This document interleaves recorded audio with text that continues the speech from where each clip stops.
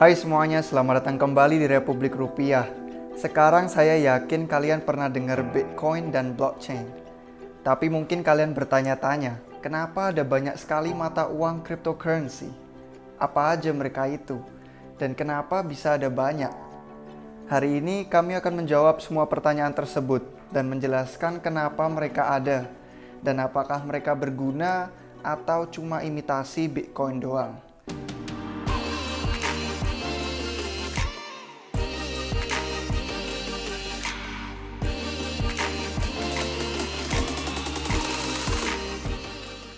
Kalau kalian suka konten-konten kami ini dan suka belajar teknologi paling menarik yang sedang berkembang di seluruh dunia termasuk revolusi keuangannya, jangan lupa like videonya dan juga subscribe ke channel kami. Jadi saat ini ada ribuan mata uang cryptocurrency. Dan kebanyakan dari mereka, percaya nggak percaya, tidak berarti. Di samping itu tapi, beberapa ada yang sangat berharga yang akan mengubah bukan hanya internet dan uang, tapi juga hidup kita. Jadi mari kita lihat, tempat terbaik untuk melihat peringkat semua koin yang berbeda adalah coingecko.com. Beberapa orang pergi ke coinmarketcap.com, tapi mereka ini penuh sama iklan-iklan. Jadi kami lebih suka ke CoinGecko. Nah pas kalian di halaman utama, kalian bisa lihat semua mata uang yang berbeda diberi peringkat sesuai market cap atau kap pasar dalam bahasa Indonesianya. Artinya, nilai semua koin yang beredar dari mata uang tertentu atau harga total untuk membeli seluruh koin tersebut yang ada di dunia. Ini bisa jadi sedikit membingungkan karena beberapa cryptocurrency mengedarkan miliaran koin, sedangkan yang lain hanya mengedarkan sekian juta. Coba kita lihat dua contoh koin, Chainlink dan Polkadot. Jadi market cap mereka bisa sama persis, tapi yang satu punya nilai lebih tinggi per koinnya dibanding yang lain. Ini karena miliaran koin yang beredar jauh lebih banyak daripada yang sekian juta. Jadi ya tentu nilai harga per koinnya lebih sedikit karena dibagi ke lebih banyak unit. Masuk akal nggak sih? Kalau misalkan kurang jelas, komen aja di bawah. Nanti akan kami bantu jelaskan. Nah, jadi kalau kita bisa lihat pada CoinGecko, semua koin-koin yang berbeda ini bisa kami sangat sederhanakan kebanyakan masuk ke dalam 5 kategori yang berbeda. Mari kita lihat semuanya. Satu, koin pembayaran. Dua, platform smart contract. Tiga, koin stable. Empat, ekosistem dApp. Lima, token pertukaran. Nah, yang pertama koin pembayaran. Yang paling jelas di sini ya Bitcoin. Bitcoin diciptakan sebagai pengganti tunai kayak dolar atau rupiah. Tapi sudah sedikit berubah sih menjadi aset penyimpanan nilai kayak emas. Di mana orang menabung ke dalamnya dan mempertahankan aset itu. Karena semuanya percaya nanti nilainya akan terus lebih berharga di masa depan. Jadi mereka belum mau melepaskan atau menjual itu. Ada beberapa alternatif dari Bitcoin dan tiruannya, kayak Litecoin, Bitcoin Cash, Bitcoin SV, Dash, Zcash, dan banyak lagi. Juga ada beberapa koin pembayaran lain yang punya sedikit fitur tambahan, kayak Monero, yang mana punya fitur privasi tambahan, membuat pembayaran tidak bisa terlihat dan tidak bisa dilacak. Juga ada koin kayak kripto terbesar ketiga, XRP. XRP atau Ripple itu kontroversial. Karena kegunaan utamanya dimaksudkan untuk para bank membayar satu sama lain pakai kripto. Malah bertentangan sama inti tujuannya kripto dong, yaitu berhenti menggunakan bank. Dan ada keraguan juga kalau ini memang sebenarnya dipakai bank atau enggak. Yang kedua, platform smart contract. Kita nggak bisa melangkah lebih jauh tanpa berkata bahwa seluruh industri ini dimulai dan didominasi oleh Ethereum. Cek dan tonton video Ethereum kami setelah selesai yang ini untuk informasi lebih lanjut tentang apa smart contract itu dan cara kerjanya. Kami di sini di Republik Rupiah suka sekali sama yang namanya Ethereum. Pada dasarnya mereka yang merintis konsep dan sangat-sangat-sangat besar persentase para pengembang DApp serta penggunanya yang memakai Ethereum. Mereka ini punya ekosistem dan jumlah pengguna yang hanya jadi semakin besar tiap minggunya. Kebanyakan platform smart contract yang lain mencoba mengambil pangsa pasar dari Ethereum. Bahkan sempat ada tren di mana mereka memanggil diri mereka sendiri sebagai pembunuh Ethereum. Sementara beberapa blockchain ini punya suatu fitur yang bagus, mereka nggak punya fungsi dan pengembangan yang kayak Ethereum.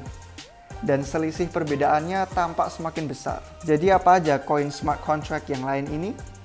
Well, sebagian besar dari 100 peringkat teratas di CoinGecko adalah blockchain alternatif dari Ethereum.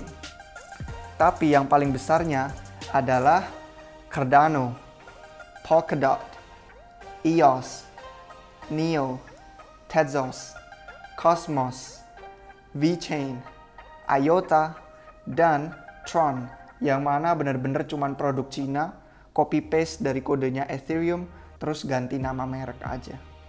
Yang ketiga, coin stable. Nah, ini nih yang bagian jadi paling menarik. Karena mata uang kripto kan terkenal dengan harganya yang naik turun dengan ganas.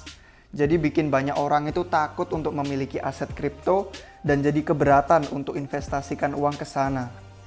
Inilah inti coin stable. Mereka adalah koin-koin yang dipatok dan dikunci harganya berdasarkan nilai mata uang normal, biasanya dolar Amerika. Ini artinya kalian bisa beli, jual, dan berdagang dengan semua keuntungan dan kebebasan yang ditawarkan cryptocurrency tanpa adanya variasi harga naik turun yang ganas kayak pada Bitcoin dan Ethereum. Kebanyakan dari koin ini dibangun pada blockchain Ethereum dan punya sedikit variasi dari sepenuhnya menjadi desentral. Kayak DAI dibangun pada Ethereum yang terkunci dalam smart contract untuk memastikan nilai harga yang pasti dari koin stable itu.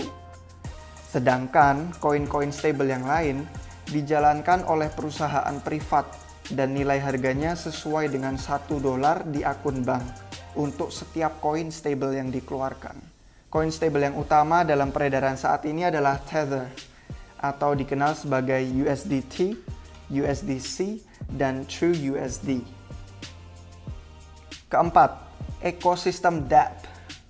Ini topik yang benar-benar luas, mencakup banyak koin-koin berbeda dan punya banyak subkategori yang berbeda. Intinya, kalau sebuah koin atau token nggak termasuk ke dalam salah satu dari empat kategori yang lain, ya mereka masuk ke dalam bagian yang ini. Intinya di video hari ini kayak gitu. Tentu kategori grup ini cakupannya luas, jadi kami akan membuatkan video membahas ini lebih lanjut nantinya. Pada dasarnya ini adalah koin yang nggak punya blockchainnya sendiri, tapi merupakan aplikasi yang hidup pada blockchain yang sudah tersedia. Seringkalinya ya pada Ethereum. Seperti kami bilang, kategori koin ini akan dijelaskan lebih detail nantinya.